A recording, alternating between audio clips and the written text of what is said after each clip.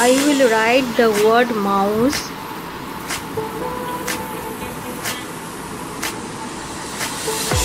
Then I will show you a magic and you will see the mouse coming to life.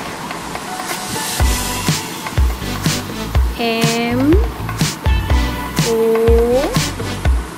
U S E. Mouse.